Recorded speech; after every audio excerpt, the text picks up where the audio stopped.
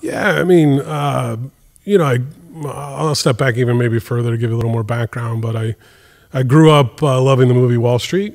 Um, ended up being a stockbroker. Oh wow. Um, ended up making a, a lot of money there. And uh, my first entrepreneur story is I, I saw an opportunity in 2000 and 2000, 2001, and I was at Accenture at the time.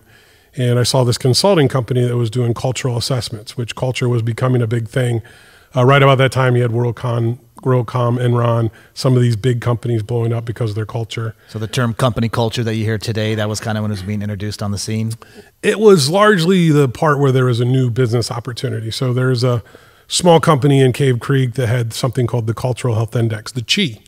And uh, two uh, ladies that were business partners, I, I went to them, I said, hey, um, don't pay me anything, pay me 25% on all my sales and give me 10% ownership for every $500,000 um, of your company that we, you know, that I can create. Interesting. And at the time, they were only doing two hundred fifty thousand, so it was a pretty easy decision for them to say, "Well, yeah, we'll do that." And you know, within six months, I'd created two and a half million dollars in revenue and owned fifty percent of the company.